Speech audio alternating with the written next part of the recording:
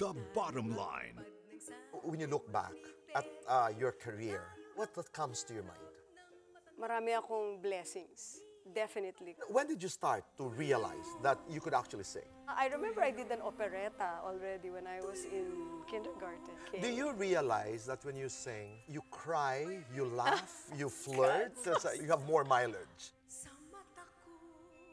The bottom line, Sabado ng gabi after Filon ngayon.